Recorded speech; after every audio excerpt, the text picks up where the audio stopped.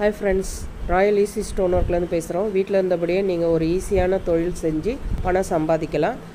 நீங்கள் எவ்வளோ வேணாலும் நிர்ணயம் பண்ணலாம். ஒரு நாள் வருமானம் எவ்வளோ மாத வருமானம் எவ்வளோன்னு